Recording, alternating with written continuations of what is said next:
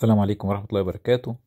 إحنا النهاردة مع بعض 12 12 زي ما قلنا ان في اكتتاب بكرة يوم 13 زي ما أنتم شايفين كده المفروض ان السوق كله فيه خسائر بشكل كبير بس هتلاقوا ان المحفظة هنا محققة حوالي 3019 دولار بقيمة حوالي قريب من 20% مكسب فقط النهاردة.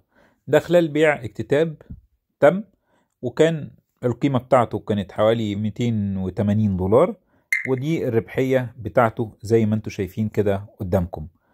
عشان كده بقول إن في الوقت الحالي في وقت بيكون فيه السوق بينزف لازم تغير سياسة محفظتك وده بيتجه للناس المختصة بالمحافظ اللي هي الفي اي بي أو بمعنى المحافظ اللي هي الكبيرة بمعنى أصح يعني تمام أكبر من 7500 دولار.